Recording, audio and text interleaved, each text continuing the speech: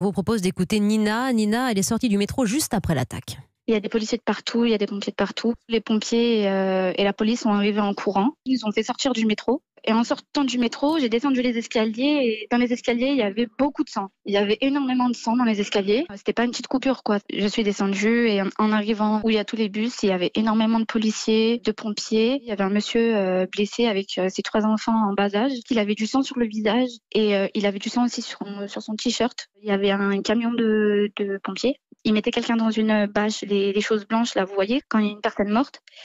Voilà, quoi. Il y avait beaucoup de personnes qui étaient choquées, et, euh, traumatisées, qui étaient en pleurs. Du coup, les pompiers les ont pris en charge. Oh, la Nina, euh, témoin de cette euh, agression à l'arme blanche cet après-midi à Villeurbanne, Sophie. Il est incarcéré de